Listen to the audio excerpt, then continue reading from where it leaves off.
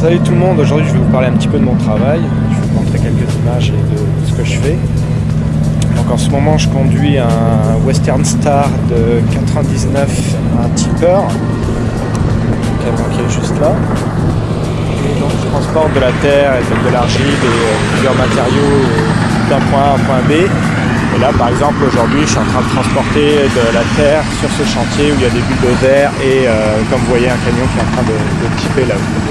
Ah, c'est parti, on va monter dans le camion.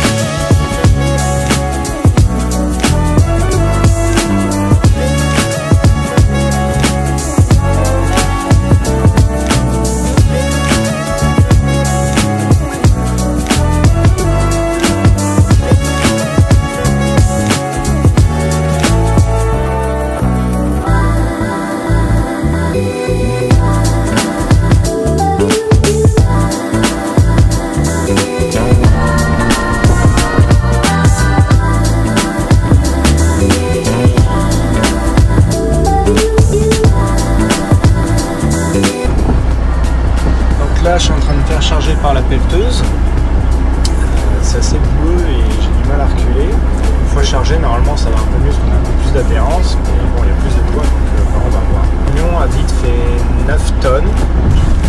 Et euh, là, je me fais charger, ça, ça, ça se goûte. Le camion fait 9 tonnes à vide et chargé, dans, mon cas, avec de la terre et de la glaise, ça va jusqu'à 20-25 tonnes. Et le camion fait 500, 510 chevaux.